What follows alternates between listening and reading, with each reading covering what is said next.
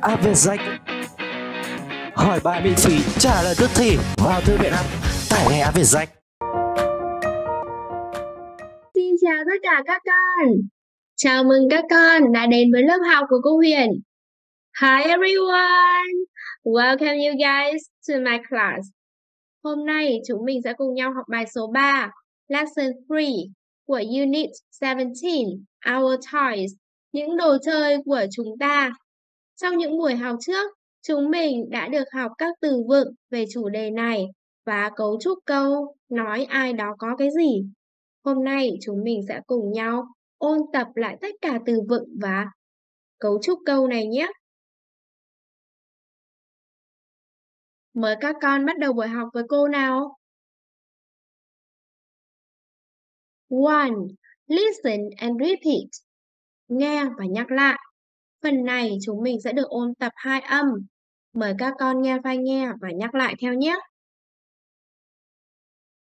Page 50.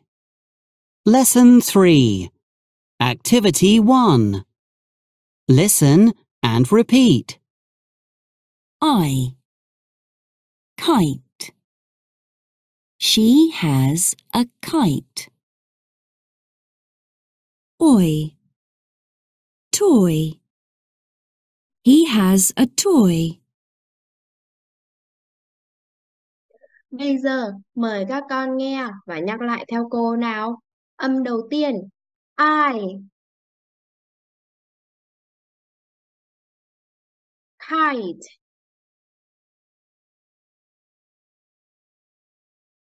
She has a kite.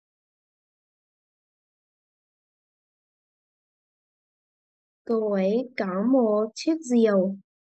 Âm thứ hai, oi.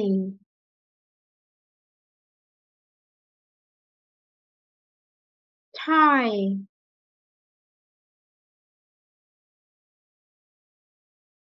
He has a tie.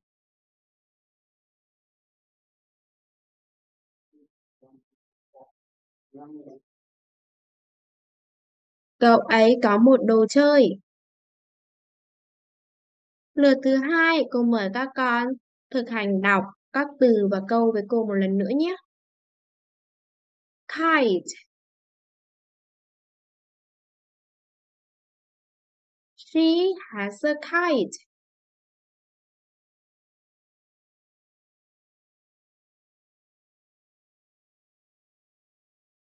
Tie.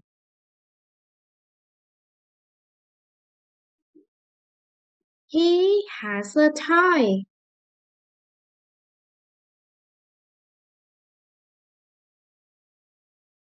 Phần số 2, mời các con thực hành nghe. 2. Listen and circle. Nghe và khoanh tròn.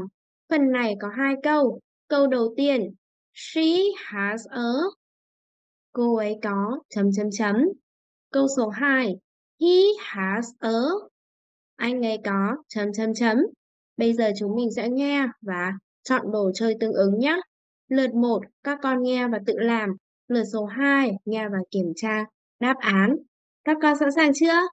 Let's go! Page 50. Lesson 3.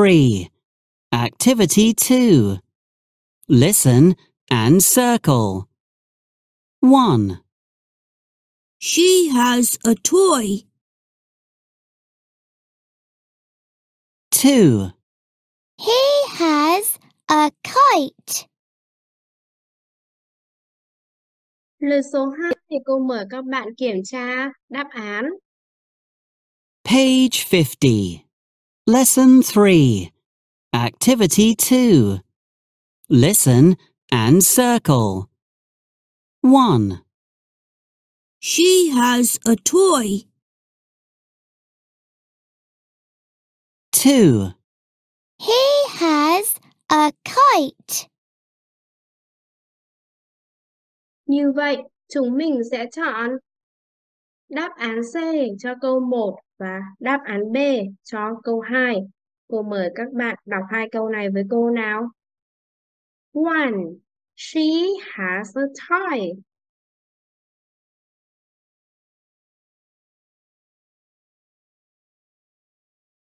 Cô ấy có một đồ chơi. Two. He has a kite.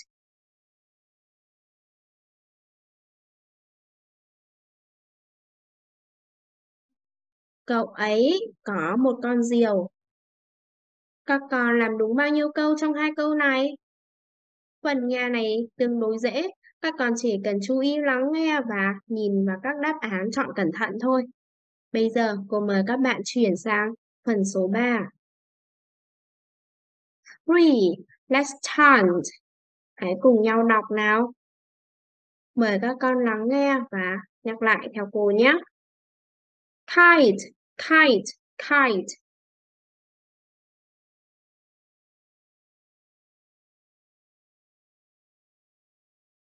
Diều, diều, diều.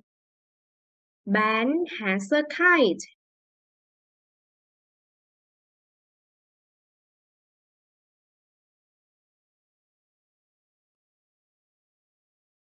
Ben có một con diều.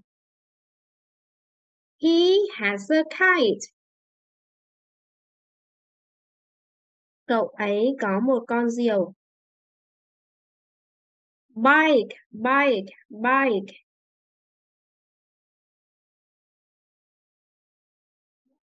Xe đạp, xe đạp, xe đạp.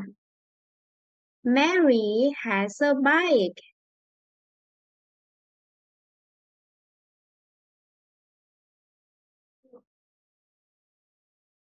Mary có một chiếc xe đạp. She has a bike.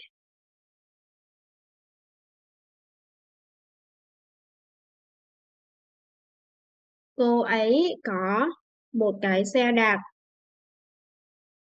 Toys, toys, toys.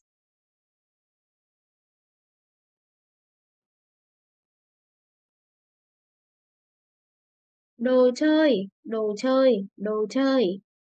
Ben and Mary have toys. Ben và Mary có những đồ chơi. They have toys. Họ có những đồ chơi. Bây giờ cô Huyền sẽ mở file nghe. Mời các con lắng nghe và đọc theo thật to nhé. Page 50. Lesson 3.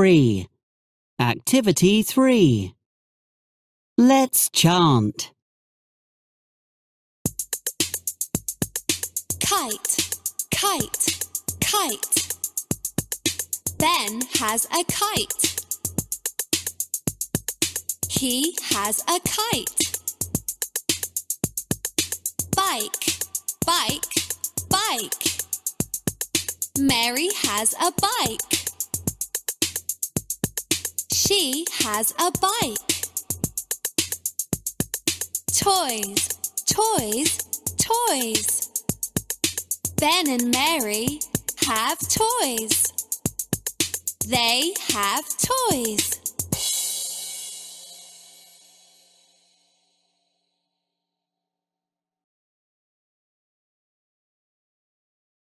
Tiếp theo, cô mời các con chuyển sang mục số 4.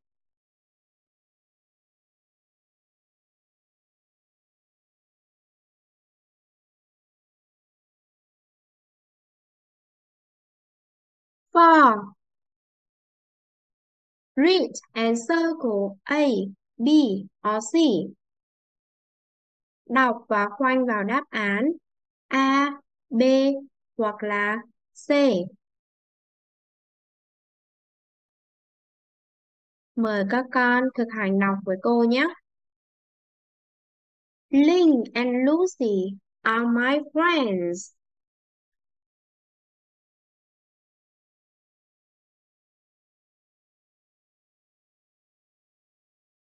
Linh và Lucy là những người bạn của tôi.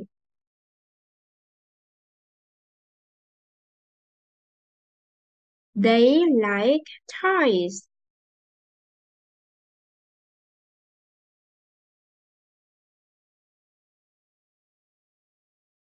Họ thích những đồ chơi. They have many toys.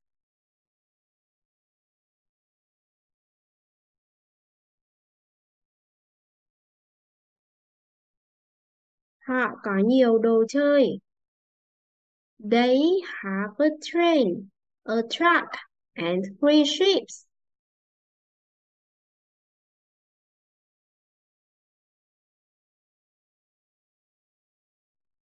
Họ có hai máy bay. Cô xin lỗi. Họ có một tàu hỏa, một xe tải và ba con thuyền. They have two planes too.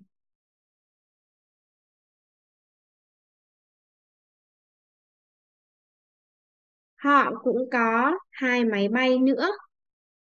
How many toys do you have? Bạn có bao nhiêu đồ chơi? Bây giờ, nhiệm vụ của chúng ta đó là chọn bức tranh về đồ chơi của Linh và Lucy.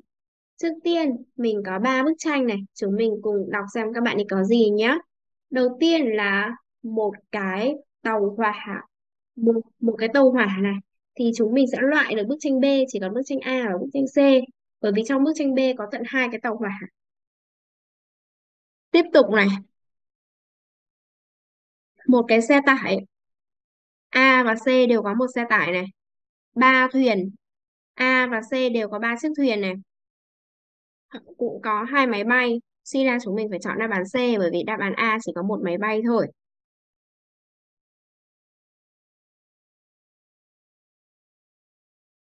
Tiếp theo, cô mời các bạn chuyển sang mục số 5 nhé.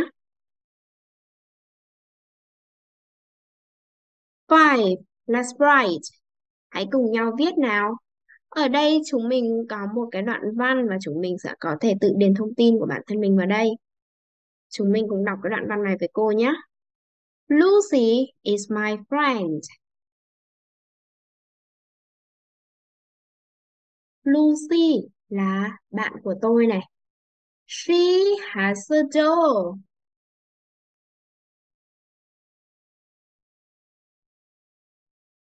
Cô ấy có một con búp bê này.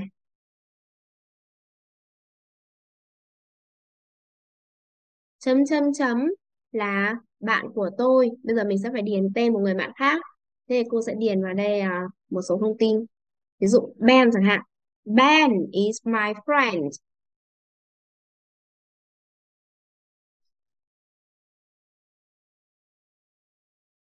Ben là bạn của tôi này. Tiếp tục này. She or he has a train. Cậu ấy có uh, một cái tàu hỏa chẳng hạn. Cô điền tàu hỏa vào đây nhé.